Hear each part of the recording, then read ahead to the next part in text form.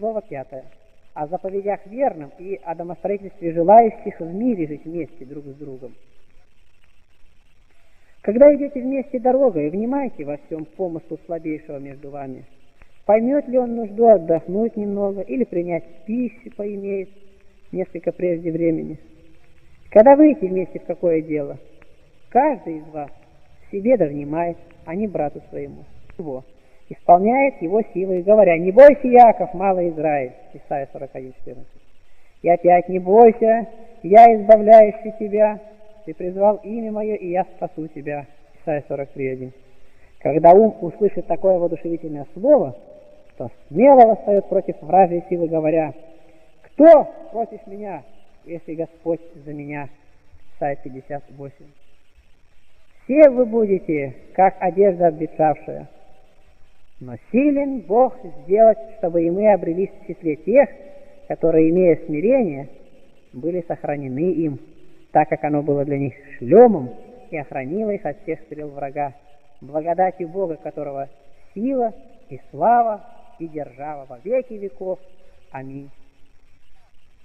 Слово пятое. О заповедях верным и о домостроительстве желающих в мире жить вместе друг с другом. Когда идете вместе дорогой, внимайте во всем помыслу слабейшего между вами. Поймет ли он нужду отдохнуть немного или принять пищу поимеет несколько прежде времени. Когда выйти вместе в какое дело, каждый из вас себе да внимает, а не брату своему. Не учить его, пусть не учит, не приказывать, что пусть не приказывает. Когда делаете какое поделие в теле или устрояете, что очаг, например, или другое, что Делающего свое дело оставляйте делать, как он хочет. Но если он скажет, творите любовь, научите меня, потому что я не умею, как сделать то и то. А между вами есть умеющий, что делать. Да не слукавит, он не скажет, сам не умею. Такое смирение не по Богу. Если брат твой делает какое дело, никак должно, и ты видишь это, не скажи ему, ты это испортил. Но если он скажет, сотвори любовь, научи меня, ты же не научишь, а промолчишь то нет в тебе любви Божией, потому что держишь в сердце лукавство. Если брат твой сварит варево, и будет оно не так хорошо, не скажи ему, худо ты сварил, ибо в этом смерть для души твоей. Но подумай лучше, как было бы тебе прискорбно, если бы пришлось самому услышать это от другого, и успокоишься. Когда поете вместе, и кто-нибудь ошибется в слове, не сказывайте ему об этом и не смущайте его. Если и пропустит слово, пусть пропущено остается. Но если он наперед скажет, сотворите любовь, сказывайте мне, если ошибусь или пропущу, сказывайте ему. Когда вкушаете что за трапезу, и кому-либо из вас нежелательна такая пища, пусть не говорит он, этого я не могу есть. Но ради Бога, даже до смерти, пусть понудит себя или смолчит, или ест, как другие, и Бог успокоит его. Когда вместе делаете какое дело, и кто-нибудь из вас по малодушию перестанет работать, не упрекайте его, но паче соблаговолите ему или поблажьте. Когда зайдут к вам братья, отнюдь не расспрашивайте их ни о чем, что может во вред послужить вам, чтобы не осталось вам от них теле пленения, смущения, рана сердце. Но если зашедший, не могший удержаться, скажет кому-либо из вас нечто такое, что, как замечено, может во вред послужить вам – то услышавший пусть никому из братьев не пересказывается, а промолчит, чтобы пленение то, как пришло, так и прошло у него одного. И не наполнил он сердец их ядом смертоносным.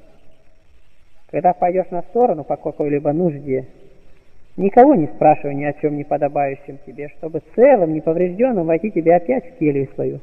Если же что услышишь, нехотя, того пришедшего не пересказывай братьям своим, когда бываете на стороне, ни в чем не позволяйте себе вольности. Куда не войдете, чтобы видящие благообразие вашего поведения в пользу получили от вас. особенно не послабляйте себе в тайном и видимо являемом молчании. Ибо все те страсти, промахи в поведении от вольности, оказываются в ином немощном брате по причине бездействия или опустения сердца его, что не видит он грехов своих. Веруйте, что помощь Божия, упование, тихонравие, совестность, оставление воли своей и нужение себя во всем имеет место в сердце смиренно мудрым. А высокоумие, любопрение, почитание себя знающим более брата своего, попирание совести, невнимание к тому, что брат твой скорбит на тебя со словом. Какое мне до того дело? Имеет место в сердце жестоком. 12. Когда сидишь за рукоделием своим и войдет в келью твою брат твой, отнюдь не гадай, ты ли наработал более его, или он более тебя. Если работаешь с немощным, не любопри в сердце своем, желая наделать более его. Если брат твой делает какое-либо дело испортит его, ничего не говори ему об этом, если он сам не скажет тебе. Сотвори любовь, брат, поучи меня. Если ты, зная, как сделать, промолчишь, то в этом смерть тебе. Когда творите рукоделие ваше, какое бы оно ни было, употребите усилия, не разузнавать, что ты наработал в неделю, и что, брат твой, ибо это знак необученности. Когда пойдешь на работу с братьями своими, не желай, чтобы они узнали, что ты более наработал, чем они. Вот что требует Бог от человека, чтобы всякое дело, делаемое им, делал он в тайне. Если брат твой по малодушию ответит тебе словом недовольного, потерпи его с радостью, ибо если рассмотришь случившееся судом божеским, праведным, нелицеприятным, то найдешь, что ты погрешил, а не брат. Если живешь с братьями, и помысл твой захочет стеснить тебя более обыкновенного в употреблении пищи, скажи помыслу своему, брат немощный, здесь живущий, есть владыка мой. Если решительно желаешь увеличить воздержание, возьми себе малую келью особую, а брата своего немощного не смущай. Если зайдет к вам брат-странник, о котором прежде слышали вы, что он любит показность, любит рисовать, представлять себя многознающим, подвижником и прочее, не пытайте его об этом на словах, пока сам собой не обнаружит этот недостаток его. Но и после постерегитесь сделать что-либо сообразно с тем, что узнали, потому что если поймет это брат, то оскорбится. Если желаешь что взять, имея в том нужду, не ропси на брата своего, говоря себе, почему не догадался он дать мне то сам от себя. Но скажи ему дерзновенно, в простоте, сотвори любовь, дай мне то-то, потому что имею в том нужду. Это и есть святая чистота или прямота сердечная. Если же ты не скажешь, а между тем будешь роптать и укорять брата в сердце своем, то ты не прав. Если зайдет у вас речь о каком-либо слове Писания, знающий его и понимающий по силе своей, пусть волю свою несет или держит позади брата своего, уступает ему и упокоит брата своего в радости. Слово, которое паче всего искать должно, есть это – смирять себя перед братом своим. Кто держит во внимании страшный суд, на котором имеет предстать, тот всячески усиливается достигнуть, да не заградятся уста его – не находя что сказать в оправдание в страшный час тот. Не разведывайте о делах века сего, чтобы не стать подобными тем местам, в которые всякий идет отлагать испражнение чрева своего, и в которых потому большое бывает зловоние. Но будьте паче жертвенником Богу чистым, устрояя внутрь себя иерея духовного, который всегда утром и вечером возлагал бы фимиам на сей жертвенник. Не оставляйте никогда этого жертвенника без фимиама, но понуждайте себя непрестанно возноситься перед лице Господа со всяким молением. Да дарует Он вам простоту и детскую невинность, и возьмет от вас противное тому именно все лукавство, бесовскую мудрость, любопытство, блуждание всюду, чтобы это видел, другое слышать, самолюбие, злосердечие, ибо все такое истребляет труды тех, которые так действуют. Конец же всего этого, если человек разумно боится Бога, и внимает покорности совести своей по Богу, то о всем сказанном научит он сам себя в тайне. Когда же там внутри не будет домовладыки Ионова, страха Божия, тогда у такого бедного человека дом внутренний брошен бывает на произвол, и всякий желающий говорит в нем, что хочет, потому что сердце его не под его состоит властью, а под властью врагов. Если предлежит вам выйти на какую-нибудь небольшую работу, никто да не презирает другого и не выходит один – оставя брата своего мучиться совестью в келье. Но пусть скажет ему с любовью, хочешь идти? Пойдем. если увидит, что брат не имеет покоя, неспокоен духом, тот час или немоществует телом, пусть не спорит, настаивая идти непременно, но пусть отложит на несколько идет в келью свою сострадательной к брату любви. Блюдитесь в чем-либо противиться брату, чтобы не оскорбить его. Кто живет с отцом или братом своим, Пусть не совещается ни о чем с кем-либо из посторонних, но о всем с тем, кто живет с ним. В этом мир и послушание. Если живешь с отцом своим или братом, смотри, не окажись имеющим с кем-либо дружбу в тайне или пишущим кому-либо письма тайком. не желаешь, чтобы знали о всем кое с тобою. Этим ты и себя губить будешь, и их. Если живешь с тем, кто больше тебя, смотри, не спросивши его, не делай для бедного какого-либо благотворительного дела. Не делай этого тайком. Спрашивая о помыслах, спрашивай не после того, как исполнишь их, но сказывай о том, что борет тебя в настоящее время. О перемене ли места жительства, или научении, рукоделию, и о перемене рукоделию, о вступлении ли в сожительство с кем, или в оставлении такого сожительства с кем, о всем спрашивая свободно, но прежде чем сделаешь, что делом. Также о немощах душевных и о страстях телесных спрашивай, когда помыслы еще подущают тебя на это. И спрашивай не то, говоришь, что ты еще не сделал ничего по сим внушениям, но спрашивай о ране, говоря, что ты уже уранен, чтобы получить врачество против раны. Когда спрашиваешь о помыслах своих, не будь лицемером, и не говори одного места вместо другого, или не давай такого оборота речи, будто другой нехо так и так поступил. Но говори истину и уготовь себя сделать, что тебе не скажут. Действуй иначе, сам над собой посмеваешься, а не над старцами, которых спрашиваешь. Когда спрашиваешь старцев о не слушай тех, которые внутри говорят тебе больше старцев, но прежде помолись Богу, говоря, сотвори со мной милость, и что благоугодно тебе о мне, внуши отцам моим сказать, что мне, и потом, что не скажут тебе отцы, сделай это с верою, и Бог успокоит тебя. Когда живешь с братьями и не находишь упокоения по каким-либо причинам, или по причине рукоделия, или по причине связанности тесноты жизни, или по причине покойности жизни, или по причине невозможности терпеть встречаемые неприятности, или по причине уныния, или потому что желаешь убезмолвиться, или потому что не можешь нести иго подчинения, или потому что не имеешь возможности делать, что желательно тебе, или потому что не имеешь всего потребного тебе,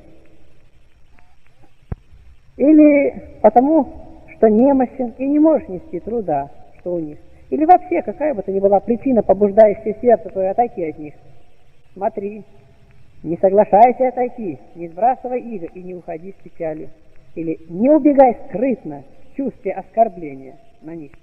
Или в то время, когда внутри тебя в силе пребывает укор им и охуждение их, не вспомнив по причине покрывшего тебя озлобления на них, о братстве твоем с ними. Но пати поищи для себя времени мира, чтоб сердце твое покойно было, куда бы ты ни отошел. Охуждение же их на себя взвали, ни в чем не осуждая братьев, с коими жил. Не слушайся врагов своих, если они будут внушать тебе. Приложить благодеяние их братьям за деяние, чтобы избежать укора самому себе и укором брата твоего прикрыть свой собственный. За это падешь ты от руки врагов своих, там, где оснуешься на жительство. 32 пришедший в какое-либо место на жительство, не бери себе келии для жилья прежде, чем узнаешь порядки жизни тамошней. Нет ли там тебе преткновения какого-нибудь, или по причине много попечительности, что надо много забот иметь, или потому что видеть будешь неких, не на пользу себе, или по причине славы, тебе или тому месту, или по причине покойности, слишком покойно и утешно жить, или по причине преткновения со стороны друзей твоих. Если будешь мудр, все узнаешь несколько дней, смерть ли там тебе или жизнь. Если дашь брату теле свое, чтобы он побыл в ней несколько дней, не относись к нему так, как бы он состоял у тебя под властью. Если возьмешь у кого келью на прожитие немного времени, ничего не разоряй, не устрояй в ней, не спросивши прежде у того, кто тебе ее дал, угодно ли ему то или не угодно, иначе не по совести будет когда живя с кем или временно проживая у кого, получишь от него какую заповедь. Поостерегись ради Бога презреть и явно или тайно нарушить эту заповедь. Если, живя одиноко в теле своей, положишь себе принимать пищу в такой-то час, или не есть варево, или другое что, потом выйдешь на сторону, поостерегись, сидя за трапезой, или сказать кому, прости мне, я этого не вкушаю, потому что через это весь труд мой попадет в руки врагов своих попусту. Владыка твой Спаситель сказал, делай в тайне, чтобы Отец твой воздал тебе явно. Кто любит труды свои, тот блюдет их, чтобы они не пропали даром. Когда живете вместе с тем, то какую бы работу ни вели вы вместе, внутри или вне кельи, когда брат твой позовет тебя на нее, смотри, не скажи, потерпи немного, дай кончить вот эту малость. Но тотчас, послушайся его. Когда работаете вместе друг с другом, то если ты мудр, какую бы погрешность не увидел ты вне у других, не носи ее в памяти, чтобы не сорвалась как-либо с языка сказать о том браке с тобой живущим, ибо в этом смерть душе твоей. Если живут с тобой братья, случится им иной раз потрудиться весь день, утешишь, дав им вкусить пищи прежде определенного часа. Не о себе только помышляй, но внимай суду Божью. Бога имей перед очами во всяком деле, какое бы ты ни делал. Если придешь в какое место, чтобы жить там, одному или, или с теми, кои прежде тебя там устроились, и увидишь, что вредное для души или не монашеское, искусство ли какое или дела, не открывай уст своих, не облить на обличение того, но если не по душе тебе там остаться, иди в другое место, язык же свой соблюди, чтобы не обличить их, ибо в этом смерть тебе. Если ты немоществуешь страстями, остерегись позволять кому-либо открывать тебе страстные помыслы свои, как верному, ибо такое дело пагуба для души твоей. Если прорвется между вами какое смехотворное слово, остерегись позволять голосу, смеху вашему, возвыситься до услышания, ибо это знак необученности и бесстрашия Божия, потому что нет стражи внутри вас. Так как в одни наши гнев Божий постиг всю вселенную – то не смущайтесь, чтобы не услышали. Но так говорите в сердцах своих, что это сравнительно с тем местом адом, в кое имеем мы попасть за грехи наши. Что это? Сотворите любовь ради Бога, прочитывайте написанное здесь, чтобы соблюдать его, потому что для верного немало почитать это малым, неважным. Вот я понудил себя написать вам и это, так как прежнего недовольно было для вас. Слово шестое а желающих безмолвствовать добрым безмолвием. Любовь в пытании Писания рождает споры и вражды. Плач за о грехах своих приносит мир. Грех монаху, сидящему в келе своей, если он, оставляя грехи свои, вдается в пытание Писания. Кто придает сердцу свое пытание, почему Писание сказало так и так, прежде чем стяжает себя самого, то есть власть над собой, или высвободит себя из страстей, тот имеет сердце пытливое и пленение крайнее, а кто бодренно бледет, чтобы не быть чему-либо плененным, тот любит повергать себя перед лицем Бога. Шестое преподобного Авы Исаия. Кассета вторая. Неси высших даров Божиих, пока молишься Ему о помощи, да придет и спасет тебя от греха. Божие само собой приходит, когда будет для него уготовано место, нескверное и чистое.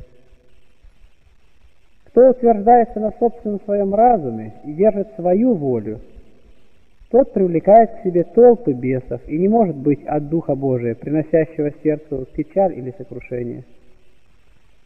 Кто, видя словеса Писания, творит их по собственному своему разуму и на нем утверждает себя, что так есть, на нем утверждаясь, полагая, что так должно понимать слова те. Таковой не знает славы Божией и богатства его. А кто, видя, говорит, не знаю, человек есть, и воздает славу Богу, таковом обитает богатство Божие по силе его и по смыслу его. Не будь охоч открывать помысл свой всем, а только отцам своим, чтобы не навлечь себе печали в сердце свое. Храни уста свои, да честным будет пред тобою ближний твой. Уважение к ближнему да остерегает уста к осуждению его. Приучи язык свой к словесам Божиим с разумом, и ложь убежит от тебя. Любовь к славе человеческой рождает ложь, а уничижение себя в смирении еще большим соделывает страх Божий в сердце своем не желает быть другом славных мира сего, чтобы слава его, чувство за вредности славы его, не притупились у тебя. Если кто наговорит перед тобой на брата своего, уничижить его и покажет злобу на него, не склоняйся против него, чтобы не постигло тебя то, чего не желаешь. Простота и не себя, вменение себя ни во что, очищает сердце от лукавства. Кто лукаво ходит с братом своим, того не минует печаль сердечная. Кто говорит одно, в сердце своем имеет другое, в лукавстве. Все служение молитвы такого тщетно. Не прилепись к кому-либо из таковых, чтобы не оскверниться ядом его оскверненным. Ходи с незлобивыми, да общником будешь славы их и чистоты. 14. Не имей злобы на человека, чтобы не сделать бесплодным трудов своих. Со всеми будь чистосердечен, да узришь в себе мир Божий. Как тогда ужален бывает кто скорпионом, яд этого последнего проходит по всему телу и самое сердце повреждает. Такова и злоба на ближнего в сердце. Яд ее уязвляет душу, и в беде бывает она от зла его. Итак, кто желает пощадить труды свои, чтобы они не пропали даром, пусть поспешит извергнуть из себя этого скорпиона, то есть лукавство и злобу. Слово седьмое о добродетелях. Три есть добродетели, которые всегда промыслительно блюдут ум, и в которых он имеет нужду. Естественное ему стремление, мужество и безленостность. Три есть добродетели, которые, если ум увидит в себе, верует, что достиг бессмертия, обновления или совершенства небожителей, бессмертность, рассуждение, верно отличающее одно от другого, проведение всего прежде времени и несочувствие ничему чужому, чуждому. Три есть добродетели, которые всегда свет подают уму. Неведение лукавства ни в каком человеке – благотворение злотворящих тебе и перенесение всего находящего без смущения. Эти три добродетели рождают другие три, больше их. Неведение лукавства в человеке рождает любовь, благотворение злотворящим тебя переживает мир, перенесение находящего без смущения приносит кротость. Четыре есть добродетели, которые чистые делают душу молчание, соблюдение заповедей, теснота, стеснение себя во всем, что был тесный путь, и смиренно мудрее. В четырех следующих добродетелях ум всегда имеет нужду. Молиться Богу, припадая к Нему непрестанно, повергаться пред лицом Бога, не беспокоиться насчет всякого человека, что и как он, тоже что не пытать, чтобы не судить его, быть глуху к тому, что говорят ему страсти. Четыре добродетели, как стеной ограждают душу и дают ей покойно вздохнуть от тревог со стороны врагов. Милость, безгневие, долготерпение и извержение всякого находящего семени греха. Противостояние же забвению сохраняет их все. Четыре добродетели по Боге помогают юности новоначалию. Поучение на всякий час, безленностность, бдение и немерение себя – ни во что себя вменение. Четыре вещи причиняют осквернение души, блуждание по городу без хранения очей, дружба с женщиной, дружба с славными мира и любление бесед с родственниками по плоти. Четырьмя вещами множится блудная страсть к тебе, спание вдоволь, едой до сытости, смехотворным празднословием и наряжением тела. Четырьмя вещами помрачается душа, ненавидением ближнего, уничижением его, завидованием ему и ропотом на него. Четырьмя вещами душа делается пустою, переходами с места на место, любовью к развлечениям, нищелюбием, вещелюбием и скупостью. Четырьмя вещами множится гнев – даянием и приятием, сделками, держанием воли своей, желанием учить и почитанием себя разумным человеком. Три есть вещи, которые человеку трудно приобрести, но ими хранятся все добродетели, сокрушение, плач о грехах своих и имение смерти пред очами своими. Три есть вещи, которые проявляют власть над душою, пока она не достигнет великую меру – и они-то не дают добродетелям сожительствовать с умом. Пленение, пристрастие к чему-либо, кроме Бога. Леность и забвение. Забвение воюет с человеком до последнего издыхания, повергая его в бесплодие. Оно сильнее всех помыслов и есть родительница всего худого, и разорительница того, что каждый час созидает в себе человек. Вот дела нового и дела ветхого человека. Любящий душу свою и не желающий погубить ее, соблюдает дела нового человека. А любящий покой в плоти в краткое время это творит дела ветхого человека и губит душу свою. И Господь наш Иисус Христос, являя нового человека в своем теле, говорил, любящий душу свою погубит ее. А кто погубит душу свою ради меня, тот сохранит ее. Он есть владыка мира, им разрушена стоящая посреди преграда вражды. Говорил он также, не пришел я принести мир, но меч и еще. Огонь пришел я не здесь на землю, и как я хочу, чтобы он возгорелся уже. То есть, что в тех, кои последовали его учениям святым, был присущ осязательно огонь божества его, вследствие чего они имели в себе меч духовный, которым отсекали все пожелания плоти своей. И Господь дал им радость, говоря, «Мир оставляю вам, мир мой даю вам». Вот как попекшийся погубить душу свою в веке этом и отсекшие пожелания свои, соделались святыми овцами его в жертву ему. И когда явится он во славе божества своего, тогда позовет их одесную себя, говоря, «Придите, благословенные Отца моего, наследуйте уготованное вам царство от создания мира, ибо алкал я, и дали мне есть».